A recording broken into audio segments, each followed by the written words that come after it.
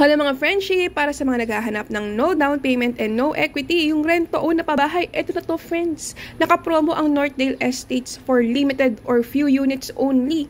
So kung paano nyo siya nakikita dito, ganun, ganun nyo na siya makukuha. Pre-painted na ng puti ang kanyang um, walls and then meron na siyang sliding window para sa well ventilation and makakatipid kayo sa kuryente kasi papasok lang ang ilaw. Ito yung kitchen niya and nakikita nyo friends, makinis ang gawa nila. Tapos yung yung second floor or yung flooring ng second floor, buhos yun. And meron na siyang metal deck para dagdag support and dagdag tibay. So, ganyan na yung CR niya, mga friendship. And ito naman is yung pinto papunta sa service area. Yung fence nyo dyan, friends, kasama na yan. O, bongga, di ba? Hindi na kayo gagastos para maghati. And pre-painted na rin siya ng puti. Pwede nyo itong ipa-close kung gusto nyo mga friendship. So, nakikita nyo naman maganda talaga yung gawa nila. O, di ba?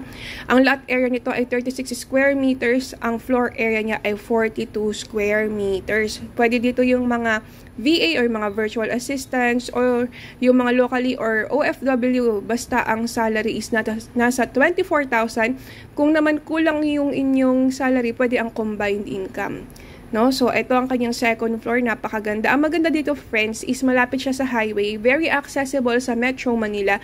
And halos adjacent lang siya sa Naik Doctors Hospital. So, just in case may emergency, napaka-accessible sa hospital. Sama na kayo sa libreng tripping habang may promo pa. Bye!